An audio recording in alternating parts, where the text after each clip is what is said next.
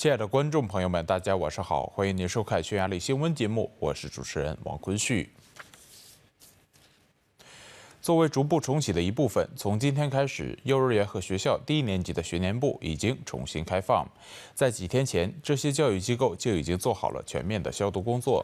在各学校中，测量体温以及遵守安全距离等防疫措施再次成为强制性要求。如有必要，班级也需要由老师划分。然而，尽管重新开放，但父母依旧可以暂时选择将子女留在家中。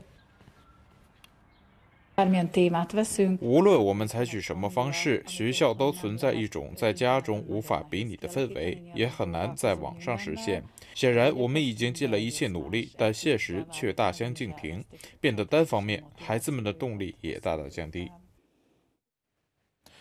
疫苗接种在全国范围内继续进行，目标是尽快达到三百五十万的疫苗接种人数。一旦实现这一目标，餐饮和酒店企业就可以重新开放露台。塞缪尔维斯大学院长莫克利贝拉表示，由于英国变体的迅速传播，因此可以预计，在接下来的时期中，该流行的病在将在年轻人当中传播的最快。年轻人是社交群体最广泛的人群，因此具有高度传染性的英国变体是年轻人感染的极佳诱因，并且似乎已经有统计数据表明，感染的数字还在稳步增加，而且这种疾病会导致更具侵略性的感染。匈牙利首席医师表示，数十万剂新冠病毒疫苗将于本周运抵匈牙利。穆勒尔采奇拉在行动小组的新闻发布会上宣布了这一消息。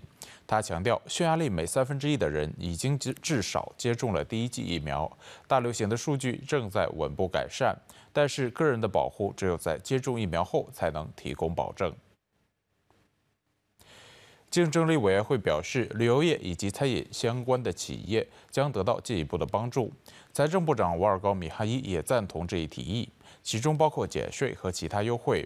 根据财政部长的说法，如果疫苗接种进展顺利，第二季度的经济增长可能会超过百分之十。今天的新闻节目到此结束。匈牙利国家电视台提醒您注意佩戴口罩，保护彼此。谢谢您的合作。